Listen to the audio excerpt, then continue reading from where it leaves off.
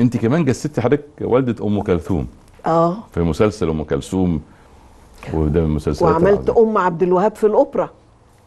كانوا عاملين أوبريت كبير قوي عن عبد الوهاب وجابوني عملت الأم. طيب يمكن أم كلثوم آه كمان من حسن الصدف إن اللي يكتبوا الرائع العظيم الراحل أستاذنا محفوظ عبد الرحمن. آه. ده كان أول عمل تشتغلوا مع بعض ولا اشتغلتوا قبل كده مع بعض؟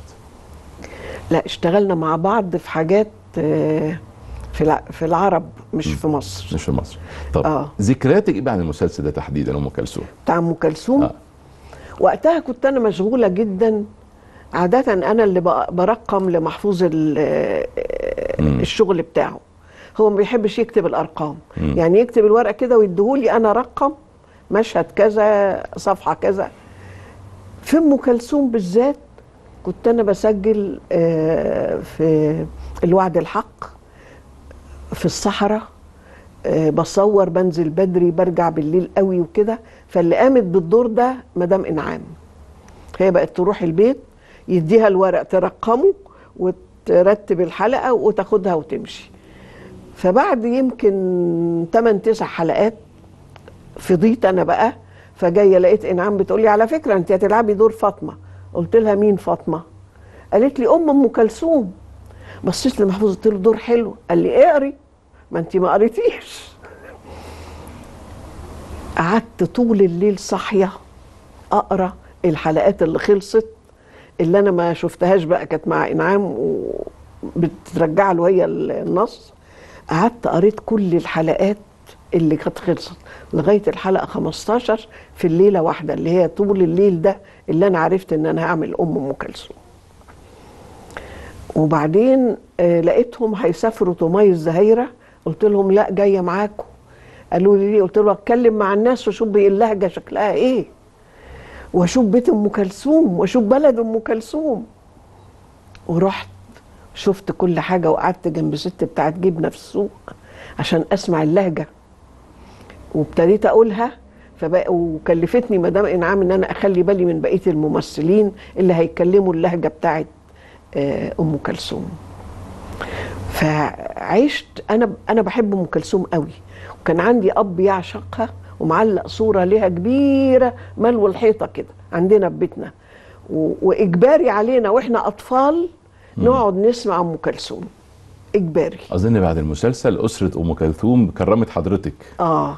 وادتني آه. اشاربين من بتوع أم كلثوم. أجيبهم لك تشوفهم. أظن كانت بتغني بيهم في. أنت عمري أظن. واحد آه اللي غنت بيه أنت عمري وواحد اللي كانت بتلبسه بتتمشى بيه على على النيل. كانت تنزل تتمشى. فكرمونا بعد ما كانوا الأول هاجمونا يعني وهو محفوظ بيكتب 16 إنذار قضائي إنه ما يكتبش عن أم كلثوم. قال لهم يا جماعة أنا بحبها. وأنا لا يمكن اكتب عن أم كلثوم إلا ما يفيد المجتمع. أم كلثوم دي قمة في مصر. وفعلا لما شافوا الحلقات من اول من تاني حلقة لقيت بتكلمني السيدة آه، نادية الكاشف اللي هي بنت أختها فبتقول لي أنا النهارده شفت ست فاطمة. أنا بحييكي انت ست فاطمة. فبقيت فرحانة جدا إن قريبتها بتقول لي انت ست فاطمة. إيه يا أمي؟ سلامتك. مفيش يا بنتي. حاجة بسيطة. إيه يا سنية أنا مش قلت لك ما تقوليش لأم كلثوم؟ حاسة بايه العادي نفسي مكروش وصدري طابق علي وعرقها بيشر لا. لازم أتصل بالدكتور. طمني أنا كويسة. بس أنا في في دماغي حاجة. اقعدي اقعدي بقول حجة نجيب بها أخوك من طماي يتخض يا أهو أنتوا ما تقولولوش إنني عيانة. يلا يا بنتي. قومي كلميه. ما تعطليش نفسك وانزلي لضيوفك. عارفة يا أمي إحنا بنحضر لإيه؟